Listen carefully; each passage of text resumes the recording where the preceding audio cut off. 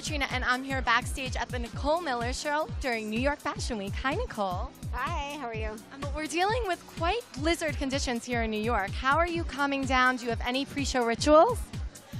Well, um, usually I get here and I go through all the clothes, but I've been so busy doing interviews, I haven't had a chance to go through the clothes, so I've been relying on my trusted assistants to double check everything.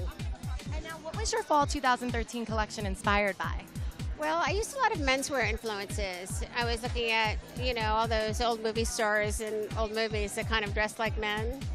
So our, our kind of buzz line was girls who dress like boys. And but then we took, you know, and departed from there, you know, because I always do a few sexy dresses. So it was like You definitely are known for your signature sexy dresses. But speaking of menswear, one star that we love who always rocks the menswear look, Kristen Stewart. What do you think of her style on the red carpet?